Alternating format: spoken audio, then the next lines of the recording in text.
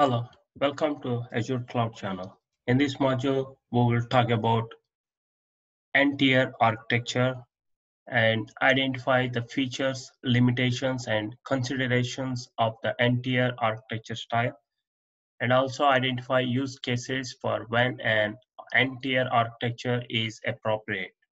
And I'll show you how to deploy a, a sample N-tier architecture with the resource manager template. So I will use uh, Azure Cloud Shell to deploy this sample N-tier architecture.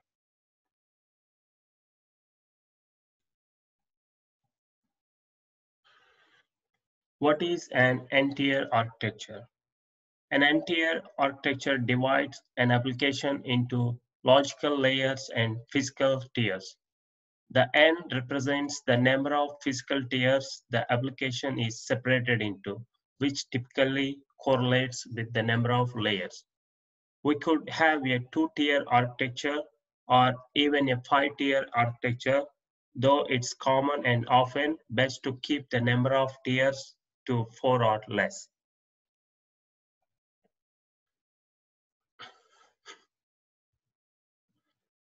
What are layers?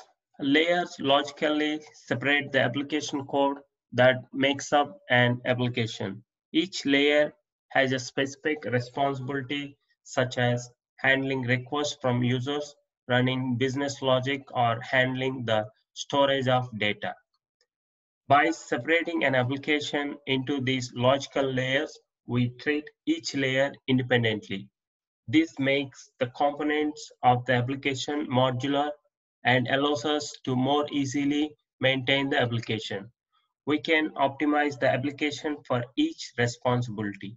The layer handling web requests focuses on its primary task, handling requests.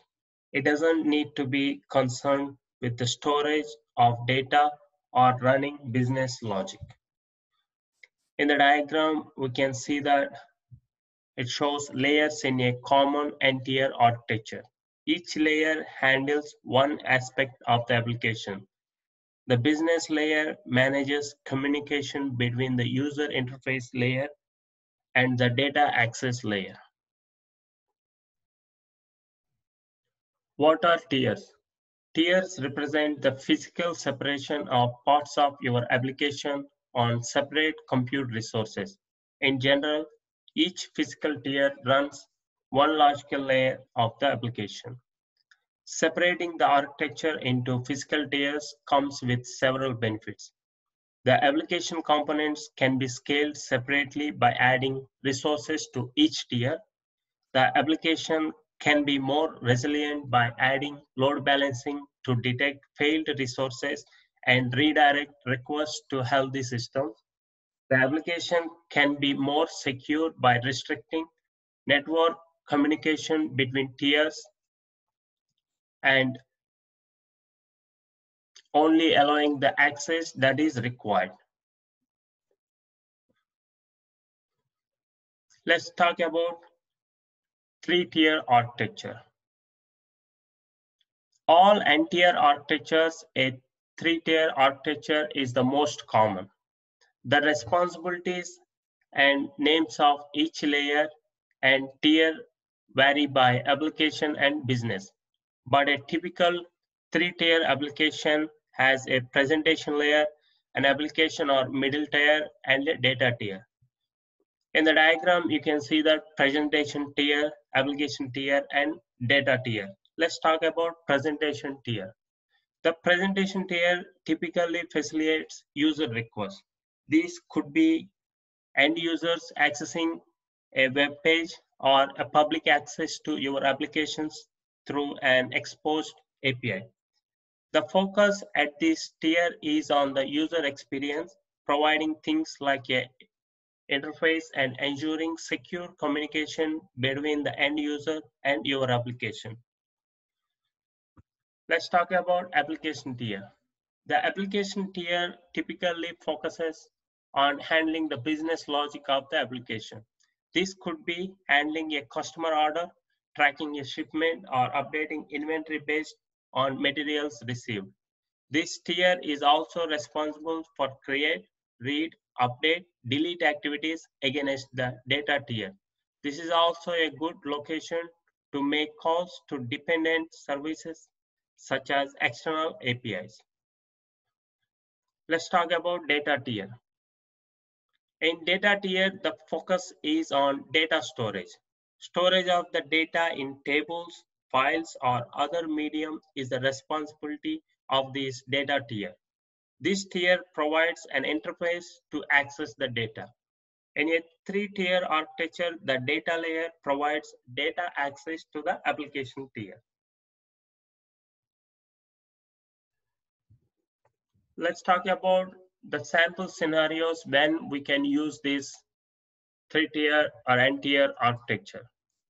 Consider an n-tier architecture for simple web applications, uh, migrating and on-premises applications to Azure with minimal refactoring and unified development of on-premises and cloud applications. Let's talk about benefits. Portability between cloud and on-premise and between cloud plat platforms. And also it is natural revolution from the traditional application model and open to heterogeneous environment. So what are the challenges? It is easy to end up with a middle tier that just does the CRUD operations on the database, adding extra latency without doing any useful work. It can be difficult to manage network security in a large system. Now I will log into Azure portal. I will I will use Azure Cloud Shell to deploy a sample n-tier architecture with a resource manager template. I'm in the Azure portal, so I will go to Cloud Shell. I will click on Cloud Shell. Now let's create storage.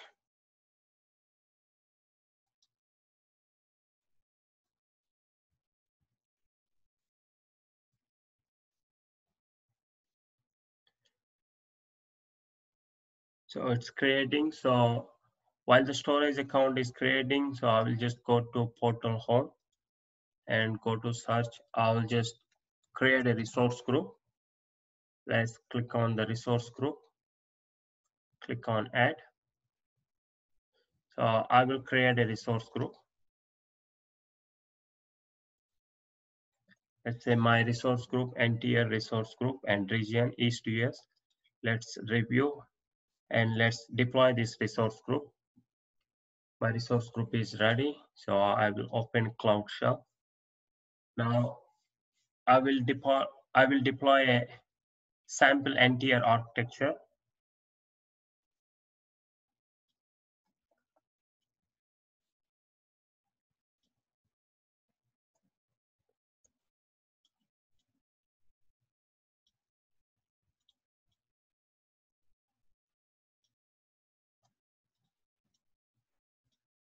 So here we can see it like Azure deployment group create and our resource group is n-tier resource group and then template we are using a JSON template. Let, let me enter this command. So it is running. This deployment takes approximately few minutes, uh, about four to five minutes to complete. So while it is running, so I'll just open this template. So this is where my code exists. So this is a JSON template. So I'm using this sample JSON template to deploy a n-tier architecture. I will go to resource group and then see if we have any virtual machines or anything available. I'll just close this one. So here we can see that the network network security group is deployed, a virtual machine is available, in the network interface, SQL Server, SQL database. This is still running.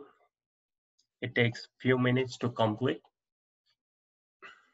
Now the deployment is completed. So now, now I will test the application I will run a command which will return the URL for the application.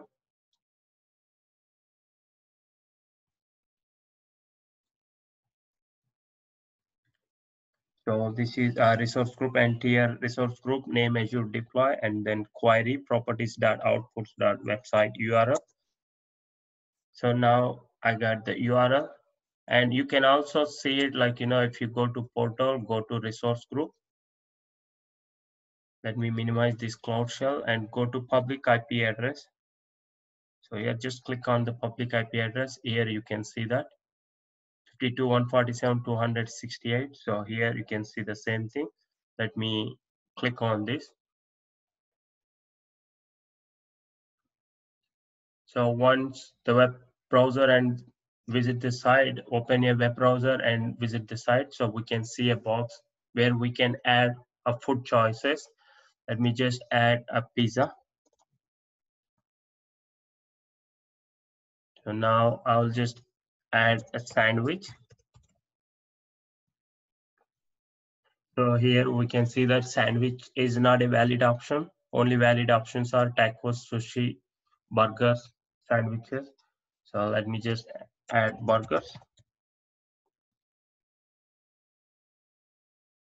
And we also apply tags to the resources as part of this deployment to reflect the tier the resources supporting. So let me minimize this cloud shell. So I will just go to resource group. I will just click on the virtual machine. So here we can see that the tags tier application. And if I click on a SQL server, we can see that tag a data, data tier. And also we can uh, use the cloud shell to find to find out what tags we have. So let me just run the presentation tier command.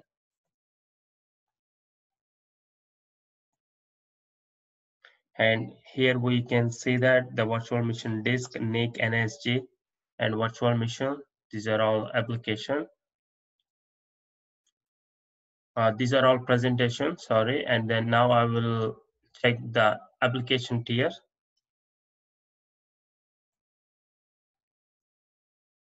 So these are all our application tiers. So here we can see that tag tier equal to application and now I will check on the uh, data tier.